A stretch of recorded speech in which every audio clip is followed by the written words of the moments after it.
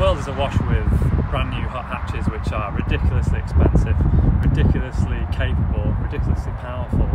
Uh, but ladies and gentlemen, I want to bring you back to the 1980s. Let's go.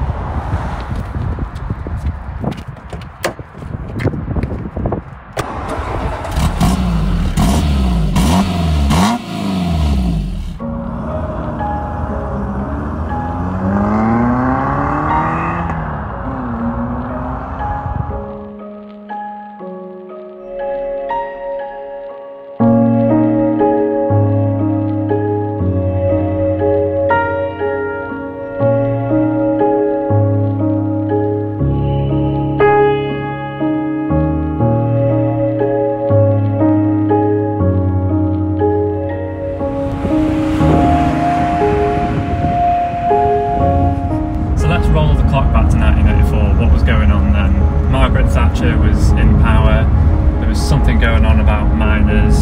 Um, Apple released their Macintosh and Band Aid released um, Do They Know It's Christmas. How do I know all this? Um, Google.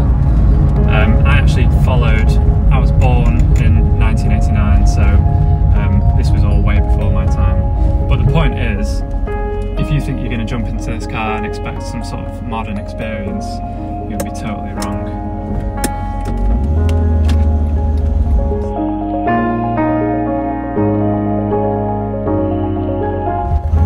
GTI came about in 1984. Um, started with a 1.6 litre engine and then a couple of years later the 1.9 followed. Um, and there has been arguments ever since about which is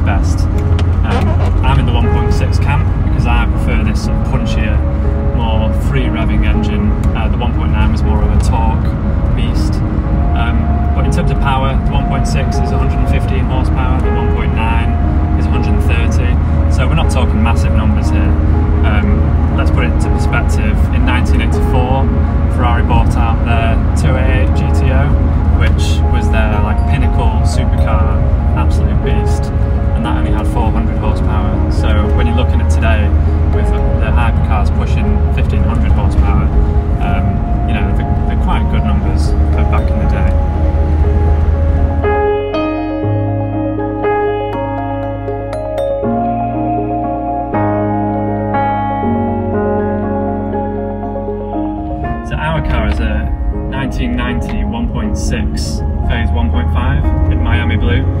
Um, those who know a lot about these cars will realise that that's a special edition model. So there's only 300 of them made. So when you jump into this car for the first time and you press the accelerator pedal, you think that you're being very clumsy because when you just touch it a little bit, the whole car like jerks and you think at first like what, what's what's wrong with it but then you realise that this is proper throttle response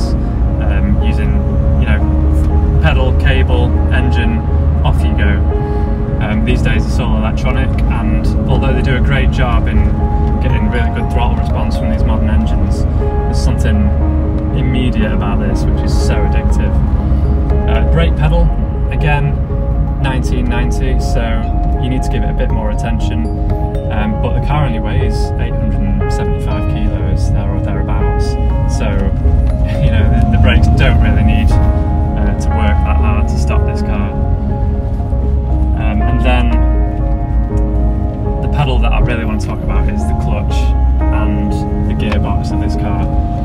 I don't think, and Matt agrees with me here, that I've driven a car with a better gearbox than this, a better manual gearbox than this. Um, it's so easy to find gears, you don't even have to think about it.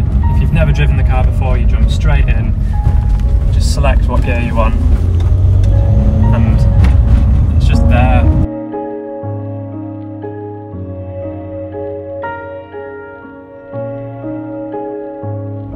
And then there's the steering of the car. Like this car actually has power steering, which was rare for a 205 GTI. Um, but I've driven 205s without power steering. I've obviously driven cars with power steering, and this feels like more like not having power steering. The feel is just great. You're going into a corner. Initially, it feels quite light, and then as you're going through the corner, it really wakes up, and you can feel the front wheels kind of like getting a bit nervous,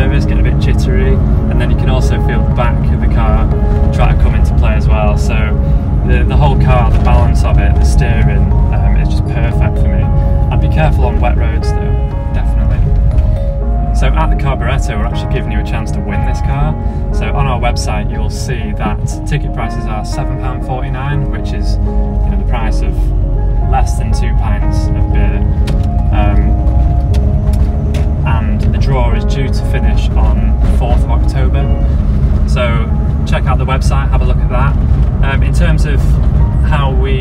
about selecting a winner, um, once the competition is closed, uh, we will do a live draw on social media, uh, Facebook, Instagram, and um, we will pick a number at random using a random number generator on the internet, and the, the winner will be selected there and then. It's as simple as that.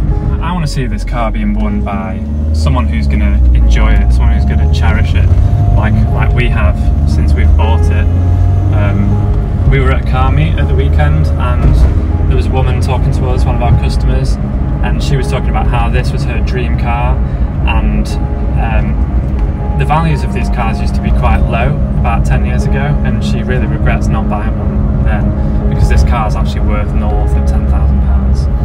Um, so, the, the great thing about the competition business and the Carburettor is we're giving that customer the chance to, to own her dream hot hatch for £7.49.